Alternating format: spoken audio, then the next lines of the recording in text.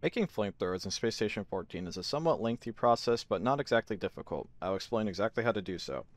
So what is required is you need to research all civilian services. And this is, again, a video explaining how to make flamethrowers. So I'm going to assume you're a scientist, and you practically have to be a scientist to be the one to make it. So you just research all civilian services, and obviously this is not something you do around start.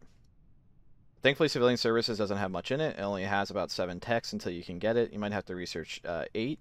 Either way, though, with Advanced Spray, you get the spray nozzle, the backpack water tank. And another requirement is you need uh, some chemistry stuff or biochemical. You need not virology, not biochemical stasis. You need chemistry because you need large beakers, and you need chemical dispensary, and that's it as all is required to make flamethrowers. So all in all, it took in this exa- in this example, it's not always going to be this simple. It took five biochemical and eight civilian services. So 13 techs, uh, that's very easily achievable. Uh, that's like one good anomaly over a few minutes, or even two decent artifacts, or one really good artifact. Anyway, super achievable.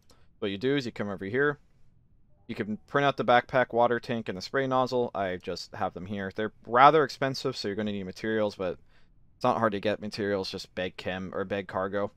And you need some large beakers, which only cost 200 glass. Realistically, you only need two. Another thing you're going to need, you're going to need to get a fuel tank, which you can find pretty often in maintenance. Uh, it's probably worth securing one early in the round. That way cargo doesn't sell them because they love selling them. And uh, yeah, this is everything you need. You and obviously I didn't build the chem dispenser, but I got the tech for it.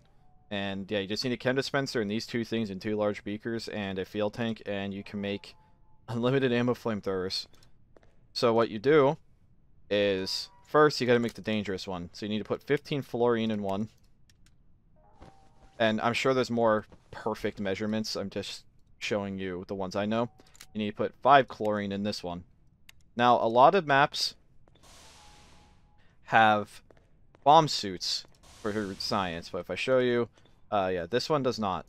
Uh, Saltern has not gotten all of its stuff updated, and I'm not even entirely sure if every map has bomb suits, but either way, look for a locker that looks like this. I'll have L4 on it. Get your bomb suit, get your helmet, and you're going to want to pick a very secluded area. If anything, do it in an artifact chamber. And what you do is you have to mix the two beakers together. It's going to explode. I destroyed the light, but doesn't cause any permanent damage.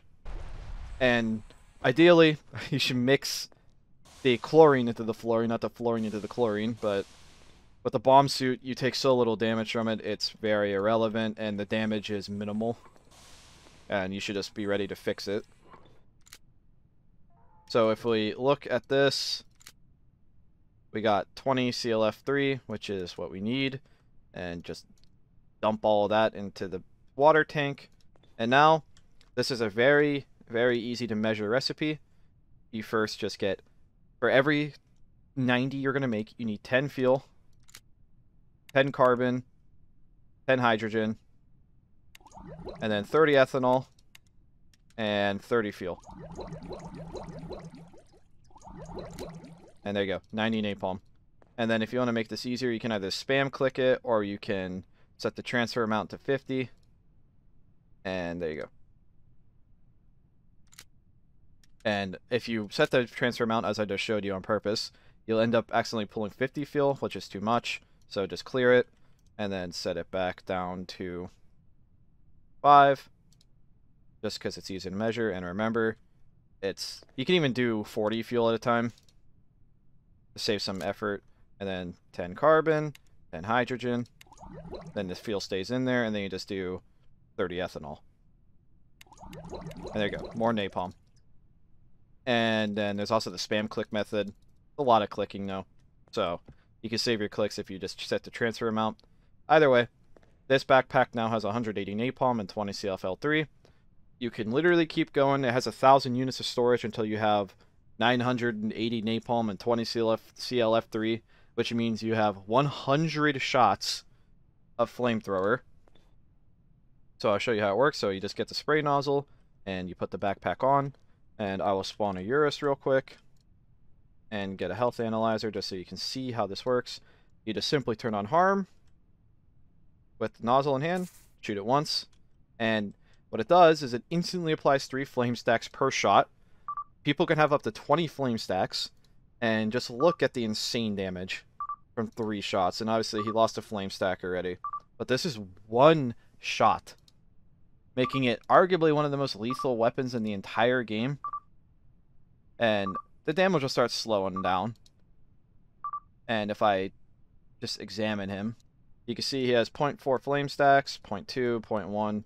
Naturally starts going out, but it does about 60 heat damage with one shot. If I shoot him again, as you can see, more than three flame stacks. It's a bit varying, but two shots will guarantee kill if they don't stop dropping rolling. And even if they do stop dropping rolling, I mean, then they're stopping and dropping and rolling and he is crit. What is really cool about the flamethrower, that is probably its most crazy capability, is if I spawn myself a hard suit, amazingly enough, it actually does enough damage if you just keep hitting them